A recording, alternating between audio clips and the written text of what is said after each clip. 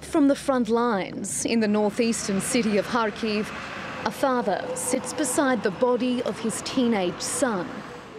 He won't let go of his hand.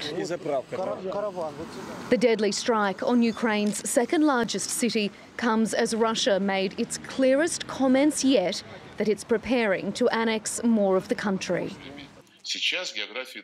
Now the geography is different. It's not just about Luhansk and Donetsk.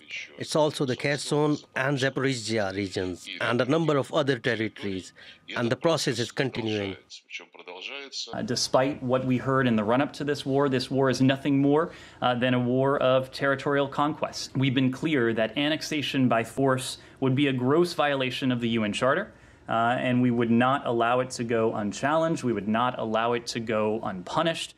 The CIA says its intelligence shows Vladimir Putin launched his special operation based on profoundly flawed assumptions, particularly concerning Ukrainian resistance. The spy agency estimates 15,000 Russian soldiers have been killed and 45,000 injured. However, Moscow disputes those figures. The bottom line is uh, the cost is very high, the gains are very low. Uh, there is a grinding war of attrition that is occurring. Uh, the Ukrainians are making the Russians pay for every inch of territory that they gain. And with the help of Western weaponry, it's fighting to claw back that lost land. Melinda Nucifora, TRT World.